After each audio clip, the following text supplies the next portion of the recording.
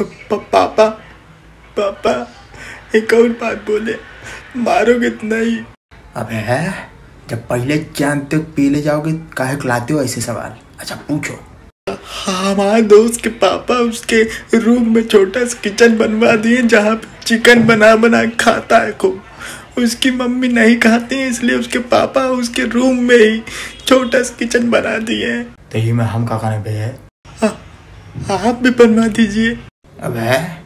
या पूरे जूते आ गए हो क्या? अक्कल अक्कल सब बेच खाए हो। बोले कौन है? चौहान है क्षत्रिय है। उनके यहाँ किचन बने का कोनो दिक्कत नहीं है। तुम कहो बे? दुबे ब्राह्मण। बनवा दो ना पापा। अबे किचन तुम बनवाने से बेटा।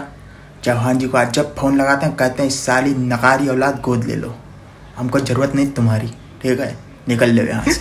उन्हीं के यहाँ रहना और जौन जौन चीज़ बने, चिकन, मटन मछली सचरी खब दबाक दिन भर खाना। यहाँ आने की ज़रूरत नहीं तुमको सुनो, अपने नाव के आगे दूबे आ जाए हटा लेना नहीं, हम हटा देंगे तुमको। अब इससे पहले पेल दे तुमको, निकल जाओ यहाँ से।